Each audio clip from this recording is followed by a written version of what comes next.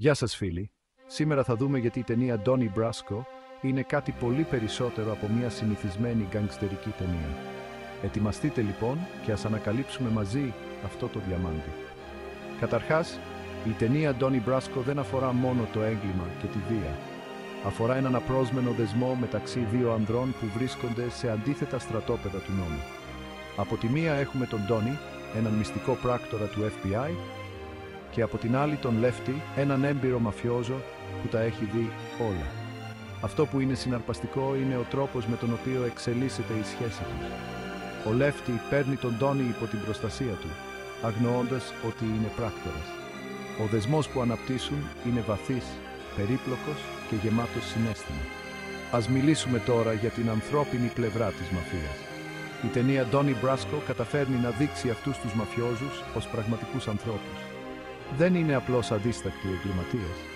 Ο Λεύτη, για παράδειγμα, παλεύει με τον καρκίνο και αντιμετωπίζει οικογενειακά προβλήματα. Βρίσκει παρηγοριά στη συντροφιά του Ντόνι. Αυτός ο συναισθηματικός πυρήνας είναι που κάνει την ταινία να ξεχωρίζει. Σε κάνει να αναρωτιέσαι για την αξία της πίστης και τις συνέπειες της εξαπάτησης. Η ταινία μας δίνει επίσης μια ομή ματιά στον εσωτερικό κόσμο της μαφίας. Ξεχάστε την εξειδανικευμένη εικόνα της λαμπερής ζωής ενός γκάνγκστερ. Είναι σκληρή, επικίνδυνη και γεμάτη διαρκή πίεση. Ο Λεύτη αγωνίζεται να τα βγάλει πέρα παρά τη θέση του. Η άνοδος του Ντόνι στην ιεραρχία της μαφίας δείχνει την αστάθεια και τους εγγενείς κινδύνους. Η επιχείρηση με το κλαμπ στη Φλόριντα που καταλήγει σε χάος είναι ένα χαρακτηριστικό παράδειγμα. Η ταινία Donnie Brasco παρουσιάζει μια απερίγραπτη εικόνα του οργανωμένου εγκλήματος. Είναι ένας κόσμος όπου ακόμη και τα πιο έμπειρα μέλη δεν είναι ποτέ πραγματικά ασφαλή. Τώρα, οι ερμηνείες.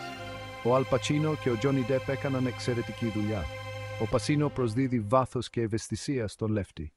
Βλέπεις έναν άνθρωπο παγιδευμένο από τις περιστάσεις που λαχταρά για επαφή. Ο Ντέπ, από την άλλη πλευρά, προσφέρει μια ερμηνεία σταθμό στην καριέρα του. Αποτυπώνει τέλεια την εσωτερική σύγκρουση του Ντόνι. Ένας άντρας διχασμένος ανάμεσα στο καθήκον και στη αυξανόμενη αγάπη του για το Λεύτη. Η χημεία τους είναι ορατή και προσθέτει επίπεδα πολυπλοκότητας στην ταινία. Το τέλος είναι ιδιαίτερα σπαρακτικό. Η τελευταία σκηνή του Πατσίνο αφήνει μια διαρκή εντύπωση. Υπογραμμίζει το συναισθηματικό κόστος της εξαπάτησης του Ντόνι. Δεν πρόκειται απλώς για μια γκανγκστερική ταινία.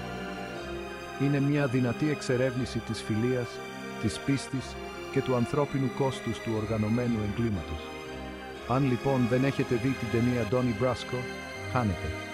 Είναι μια ταινία που σου μένει αξέχαστη. Πιστέψτε με, αξίζει το χρόνο σας. Σας ευχαριστώ που με παρακολουθήσατε. Μην ξεχάσετε να κάνετε like, subscribe και να πατήσετε το καμπανάκι για περισσότερες αναλύσεις στις αγαπημένες σας ταινίες. Μέχρι την επόμενη φορά, μείνετε περίεργοι.